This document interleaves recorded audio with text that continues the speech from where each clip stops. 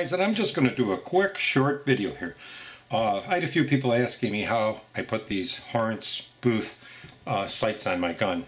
Now, let me just go here real quick. Uh, I'm going to try to do this uh, because I'm, I'm going to take them off the gun.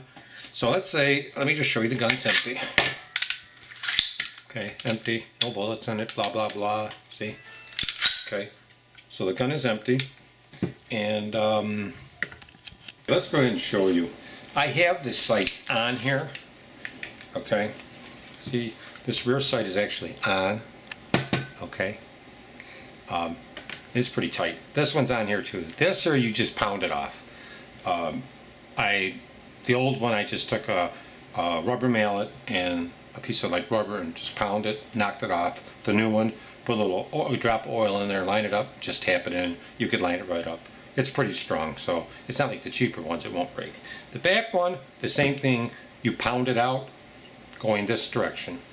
And you would just put a piece of real hard rubber or, and you just pound the old one out. To put the new one in, I'm going to show you. This in here has, let me go down so you can see it. It has uh, holes. See the two holes there? And that is for Allen, an Allen, Allen nuts. Let me loosen them up here.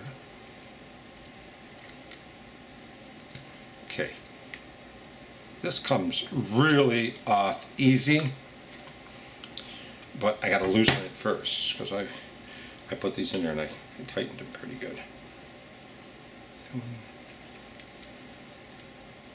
And there's not much uh, force that you have to do on these to get them off, but they come off fairly easy. Okay, and as you loosen them up, they slide right off. And the secret's in it.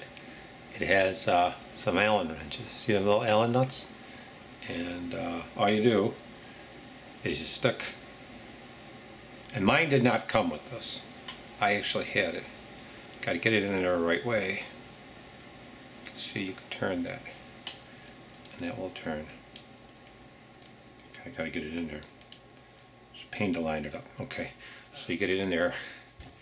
You can see. You can turn the little see how that turns? Okay so that's how that goes. But this is uh, the sight and all you do take your old one off. Like I say when it's on there just you can put a drop of oil on each side and just tap it right off. To put it on very easy just line this up.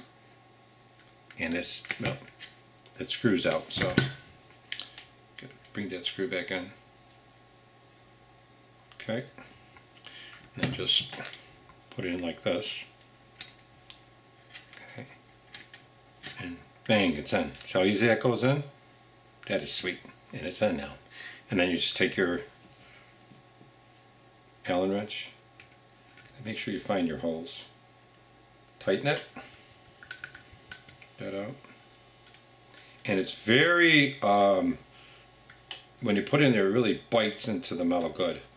So you are not going to have a problem with it um, coming it out because it bites right into that metal. And what you could do even uh, is you could put a little uh, little dimple in the um, frame on the slide so the little Allen uh, nuts kind of bite into there that's how you do it. And I wanted to show you that. Um, I already have the front one on. I just don't want to nail that, pound that off. But it's fairly easy to get it on. I actually have a little crooked. Let me straighten it up here. And I really liked the way they got it set up because it does come up.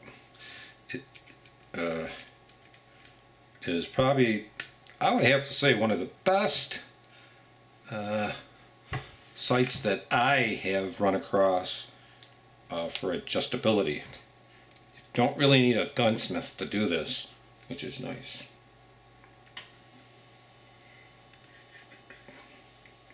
Get it in there. It's just a pain to get fine you're going in there. But once you get it on, you're good. That's it. Okay, and it's pretty tight now. And this is this is very tight. You can feel I'm moving the whole slide. But that's how you put them on. I wanted to show you that. And it's installing the fiber optic sights. Uh, I'm not showing you how to take the old ones off, but the old ones are easy. You could just pound them off, put a little oil, you pound them in this direction, okay? You're going uh, from left to right, okay? Putting them back on from right to left. But thanks a lot, guys.